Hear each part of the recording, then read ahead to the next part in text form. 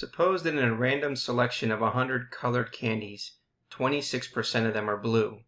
The candy company claims that the percentage of blue candies is equal to 23%.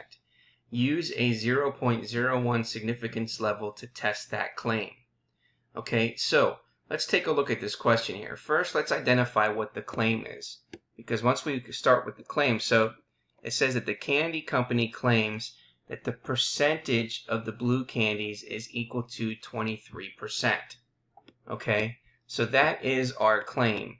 But what we want to do is we're going to go ahead and first identify the following. Okay, so we want to identify the following, meaning that what is the sample size given? Well, the sample size is the 100 candies. So we know n is equal to 100. Okay, and then the point estimate is the percentage of them that are blue. Well, that's 26%, and we're going to write that as a decimal, which is 0.26. Okay, now what is the proportion of the claim?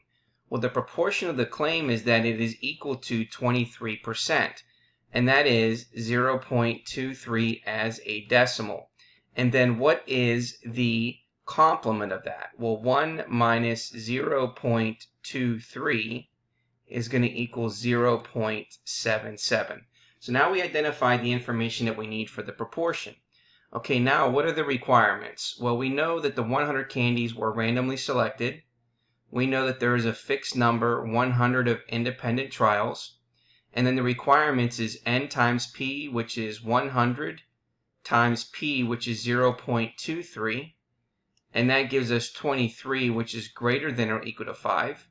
And then we're going to take 100 and multiply it by q, which is 0.77, and that gives us 77, which is greater than or equal to 5.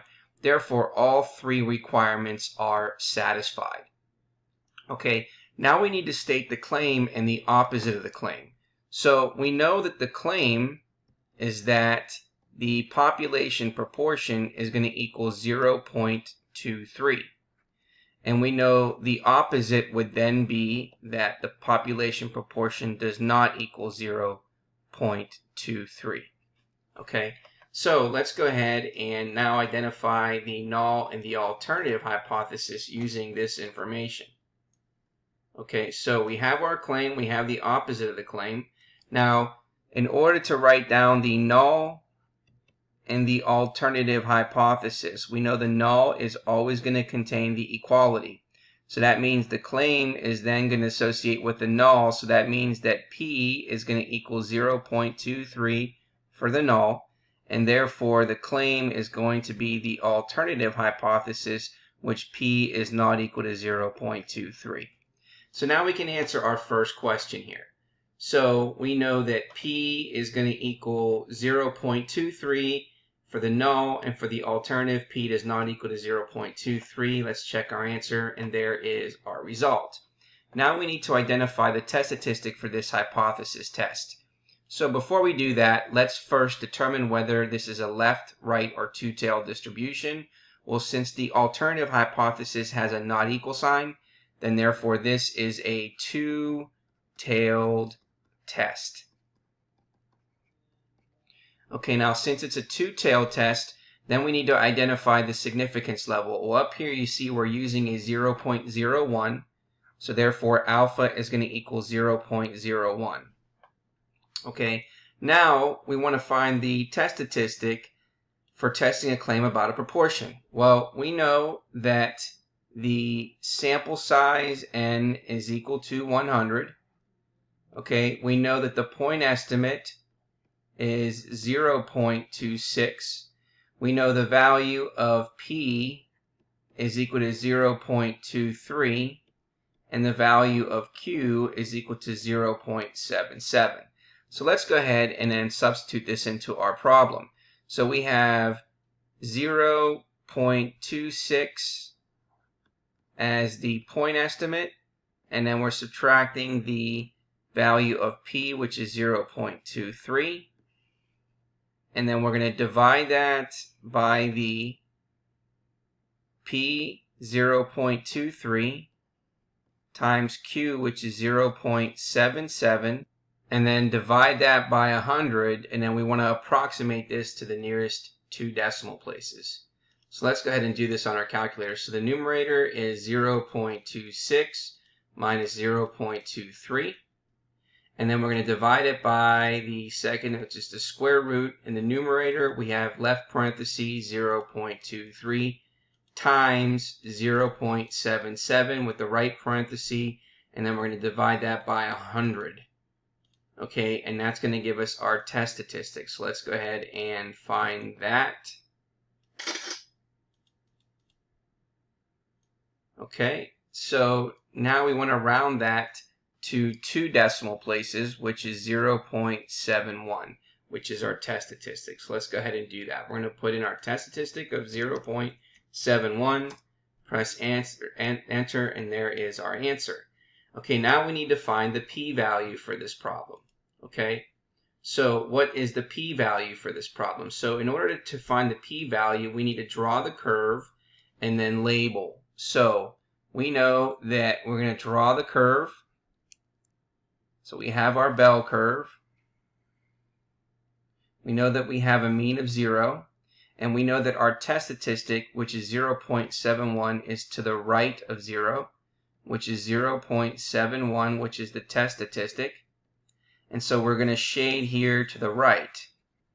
But that means that this is two tails. So we have two tails that have the same area. So let's first find the p-value with our test statistic that we have to the right. So to find the p-value of the shaded area to the right, okay, that's going to be the probability of our test statistic, which is greater than or equal to 0.71 okay, and that's going to give us the p-value, okay. So let's go ahead and use StatCrunch to find that p-value. So we're going to open up StatCrunch.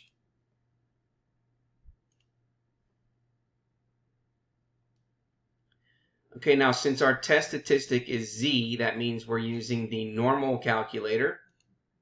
Okay, and then we're going to put make this greater than or equal to, and then we're going to put in our test statistic of 0.71 and then that gives us our p-value. Now the p-value they want us to round it to three decimal places, so that's going to be 0.239. So 0.239.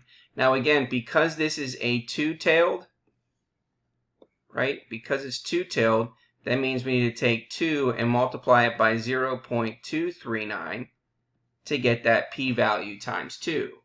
So if we take 2, multiply that by 0.239, that gives us a p-value of 0.478.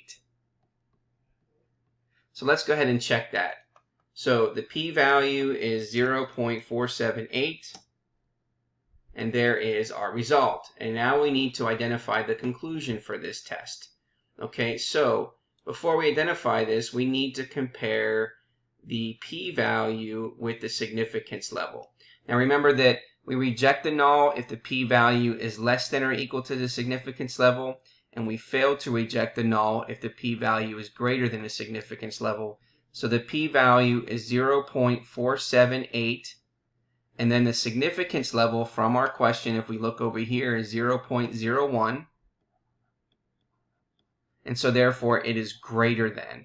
And since it's greater than, then we're going to say that we fail to reject the null hypothesis. Okay, so now before we talk about our conclusion, we need to come back here and look at the original claim. The original claim contains the equal sign, meaning that it contains the equality. So when we try to decide which one represents our claim here, I mean our conclusion, the first two says the original claim does not include equality. Well, that's not true. So we're going to eliminate these two.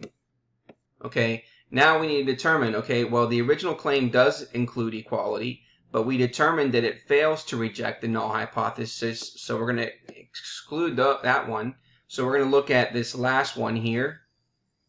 And so we would say that we would fail to reject the null hypothesis and then we would say that there is not sufficient evidence to warrant rejection from the claim that provide with the original claim.